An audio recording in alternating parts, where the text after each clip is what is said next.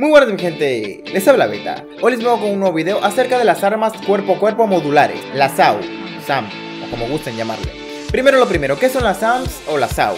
Pues las AU son armas cuerpo a cuerpo modulares como ya mencioné antes, al igual que una AMP o arma del operador. Pero a diferencia de esto, las AU son para Warframe. Las AU son muy populares gracias a su increíble daño y desempeño a la hora del combate cuerpo a cuerpo, ¿eh? Así que en los primeros niveles es muy importante y de mucha ayuda el que la consigamos. Ahora, ¿dónde conseguimos estas armas? Pues en Cetus, donde el comerciante Hawk. Si se fijan, lo único que vende este comerciante son las partes modulares para hacer nuestra SAU. Aparte de unos cuantos arcanos que también podemos usar con la SAU. La SAU está compuesta por tres componentes, que son punta, y enlace. Cada una de estas piezas representan ciertas estadísticas ya sea de ascenso o descenso en cuanto al rendimiento de lo que es la SAU, lo cual las vuelve muy personalizables. ¿eh? Los tipos de SAU más populares son las de crítico y las de estado. Yo personalmente me inclino más por las de crítico. Si se fijan, cada parte modular tiene cierta descripción en la que indica que tiene más estadísticas con algunas características, como el daño o el estado, o si tiene menos velocidad de ataque o menos daño crítico. Eso depende ya de cada parte. Ejemplo, miren este enlace que uso para lo que son mis SAUs de crítico el cual dice que incrementa el daño y la probabilidad crítica, pero con velocidad y probabilidad de estado reducido.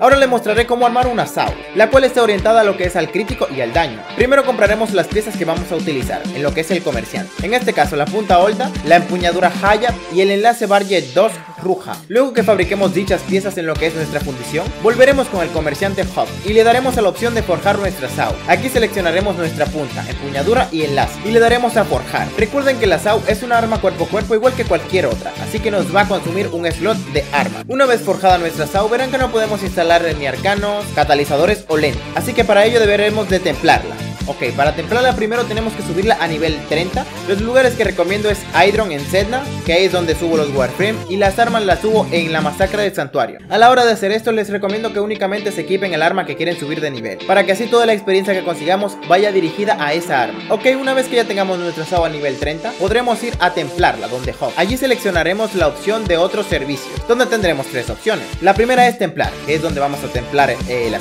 La segunda es proveer, eso es por si queremos dar una de nuestras SAO por puntos de reputación ostronita. Y por último tenemos nuestra tercera opción, que es de renombrar o nombrar alguna arma cuerpo a cuerpo que tengamos, no importa cuál sea.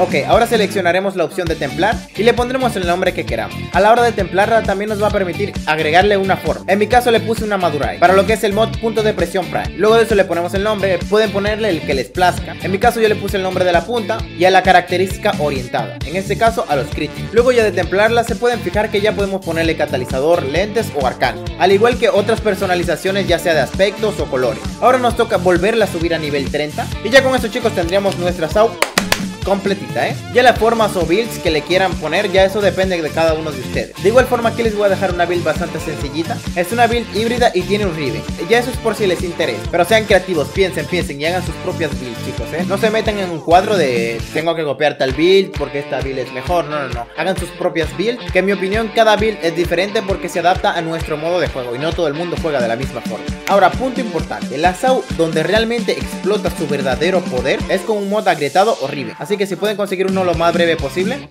háganlo, ¿eh? Y bueno chicos, hasta aquí el video de hoy, espero les haya gustado. Esta semana estaré subiendo...